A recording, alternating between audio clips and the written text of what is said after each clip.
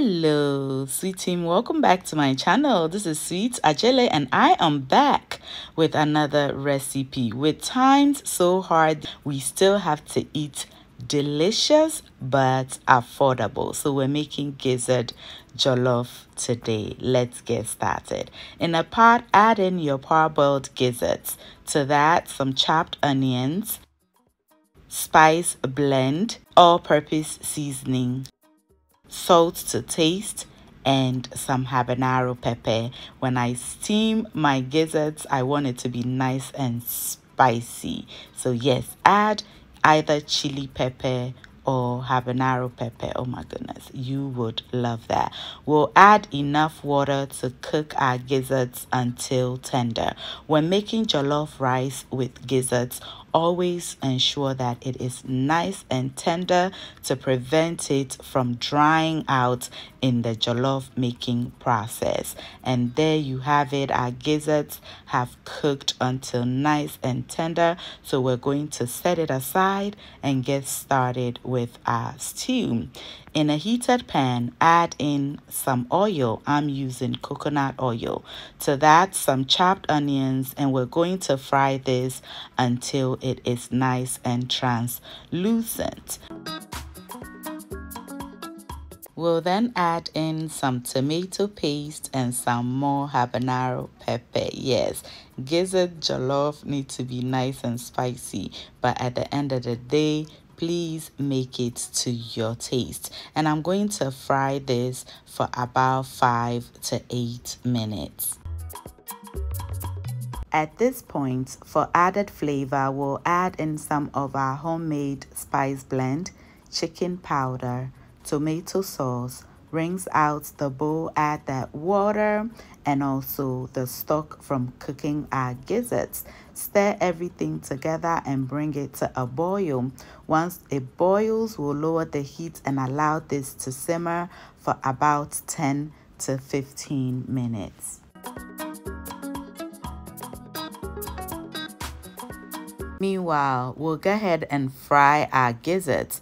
I'm not trying to fry the gizzards for it to become hard or tough in any way. I just want it infused with some of our delicious coconut oil. I live for coconut oil, y'all. I so much love this oil because it makes my meals super delicious. Our stew have cooked down beautifully, so we'll add in our gizzards, oil and all.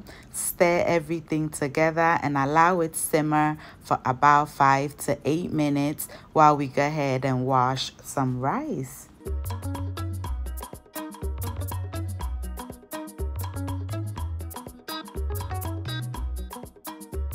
And we are back. Our stew is looking good. You always want to set some of your stew aside when making jollof so that you don't use too much stew okay? Then we'll add in our nicely washed jasmine rice and some salt to taste We'll then stir fry this until each rice is well coated with some of our stew.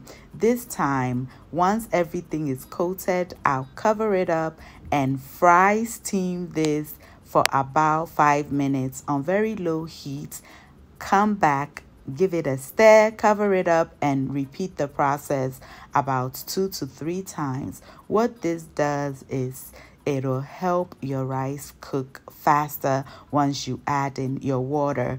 Using cast iron to cook jollof rice is not that easy. It burns easily. So when you do this, it cooks faster to prevent it from burning. At this point, we add in our water, give it a stir. And as we all know, jasmine rice does not take to too much water. So I add just enough to loosen up the rice. Remember, we've stirred, steamed this for about eight minutes before adding in the water. So the rice is already halfway cooked. We'll then go ahead and cover it up with a parchment paper and then our lid and allow it to cook for about 10 minutes on low heat. And we are back to check on the rice. It is looking good. All the water have been absorbed. So we'll fluff it up Cover it up and continue cooking until our rice is nice and ready. Today's special tools goes to Richie's Mauli from Turkey, Manuela Hayford from Ghana, and Yabes Corner from Ghana. Thank you so much for always watching, liking, and sharing my videos. If you would like to get a special tool from me, why not comment sweet himo too or let me know where you're watching from and I'll give you a special two in our next recipe. Back again to check on our rice. It has just about five minutes to go and I want to add in some veggies so we will add in some carrots because it is the hardest of all the veggies we would be using today. Cover it up and allow it cook for about five minutes.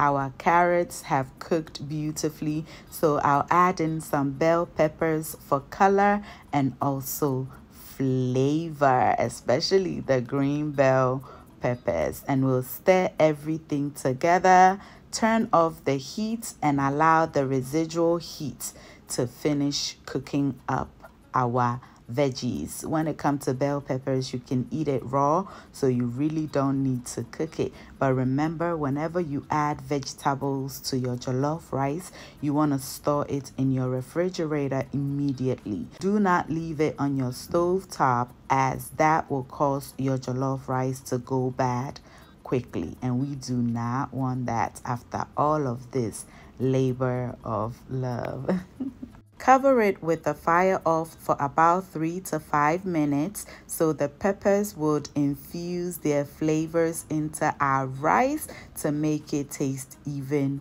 better. Just look at our rice, perfectly single grained, deliciously perfect and affordable. Now garnish with some spring onions, serve and enjoy. Spring onions makes everything looks super delicious. All are invited to enjoy this deliciousness with me.